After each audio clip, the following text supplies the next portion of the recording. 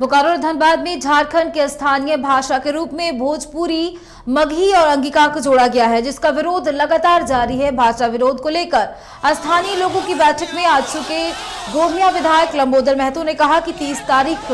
बनने वाले मानव श्रृंखला के विरोध में वह और उनकी पार्टी बढ़ चढ़कर हिस्सा लेगी। उन्होंने कहा कि ज़रूरत पड़ी तो आने वाले विधानसभा सत्र में भी वे राज्य सरकार को घेरने का काम करेंगे। हम लोगों ने बहुत आशा के अपने पिछला ऐतिहासिक सच से हम सबों को अवगत करा आज हमरा नीन पूर्व आउट कार्यक्रम के तहत डुमरजोर गाँव से काला पत्थर पानी टंकी मोड़ शहीद कर्मा केशव प्रतिमा स्थल तक हमरा नीन तीस तारीख के जो मानव श्रृंखला रखल गेल है झारखंड सरकार के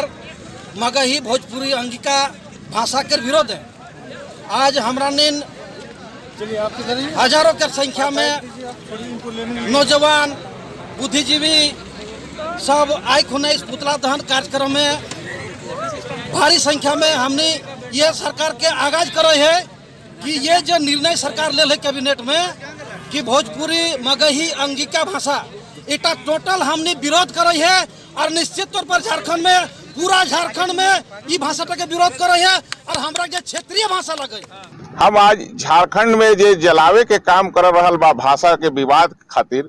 उन सब नेतन के आज एजा चुनौती देवे खातिर हम आइल बानी। कि हमनी के देश के संविधान का कह रहा बा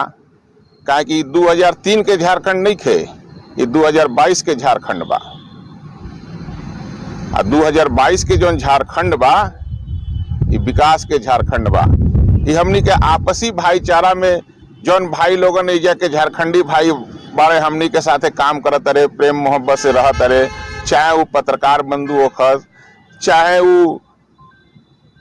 बुद्धिजीवी लोग होखस, चाहे वो ठेला चलाए वाला होखस, चाहे वो मजदूर होखस, चाहे वो किसान होखस, चाहे वो सभी वर्ग के भाई जौन बने हमनी के सब एजा मिलजुल के झारखंड में काम करत जा देखिए, आज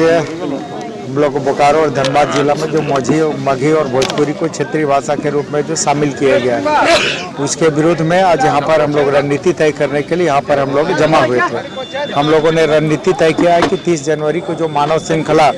कुछ भाषा संघर्ष समिति और उनके साथियों के द्वारा जो मानव श्रृंखला निकाला जा रहा है, उसका हम लोग भरपूर समर्थन करेंगे। और इसके साथ ही आगामी जो विधानसभा आ रहा है, उस उस विधानसभा सत्र के दरमियान हम लोग विधानसभा का भी घेराव